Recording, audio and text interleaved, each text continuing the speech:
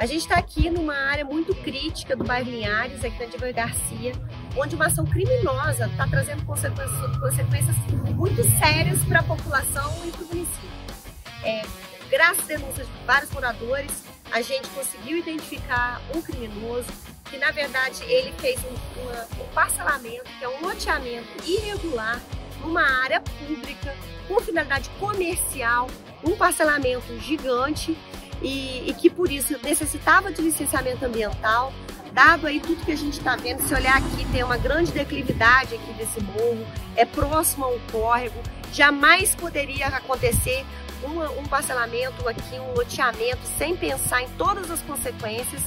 e por conta dessa ação criminosa, que a gente já tomou todas as providências administrativas, nós também entramos com uma ação criminal. Porque uma pessoa que fez isso e serve de alerta para vários parcelamentos irregulares que as pessoas precisam de denunciar, ela não tem responsabilidade, ela não tem preocupação com as pessoas.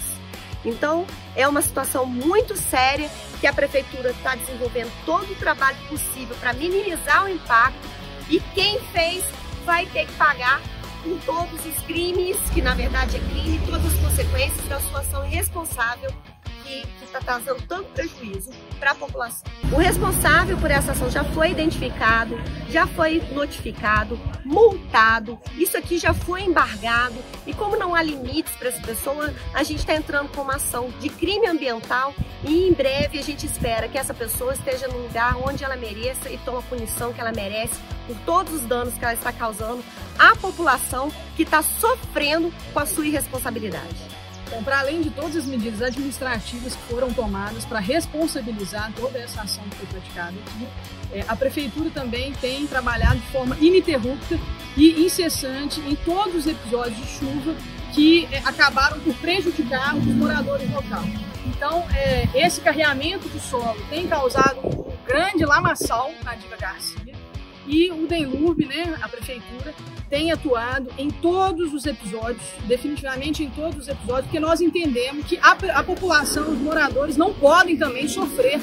é, sozinhos as consequências dessa irresponsabilidade. Por essa razão, a prefeitura assumiu essa posição, a postura de dirimir os danos, de diminuir os impactos causados e prestar toda assistência com os equipamentos, com o pessoal, para poder diminuir é, o impacto que foi causado aqui. Importante lembrar que esse impacto tem duas dimensões. O primeiro é do transtorno que toda a população do entorno sofre. Esse é concreto e objetivo e visível.